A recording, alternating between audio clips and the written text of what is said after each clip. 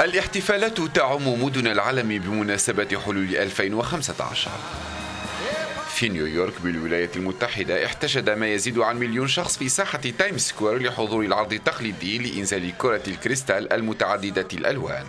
وإلى جانب عمدة نيويورك شارك عدد من النجوم والمشاهير كسايرس وبلوندي ومغنية البوب تايلور سويفت في الاحتفالات.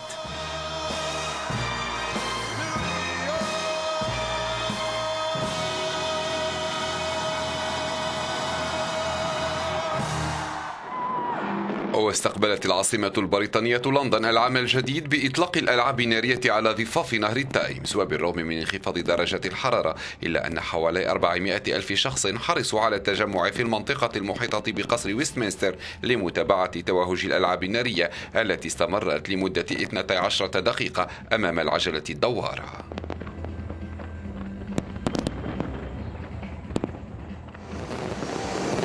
وفي باريس نظمت عروض بصرية مثيرة في جادة الشونزليزيه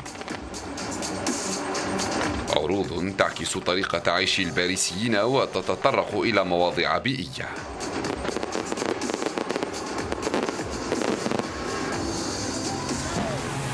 أمستردام احتفلت بالمناسبة أيضا حيث رقص الجميع على أنغام الموسيقى وتحت أضواء الألعاب النارية.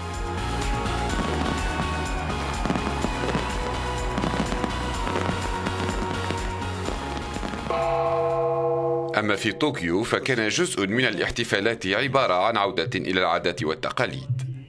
وأطلق حوالي ألفي شخص بالونات حملت تمنياتهم للعام الجديد. أما سيدني كبرى المدن الأسترالية فكانت من بين أولى مدن العالم التي استقبلت العام الجديد حيث شهدت إطلاق دفعة من الألعاب النارية فوق الخليج وبحضور أكثر من مليون ونصف المليون شخص.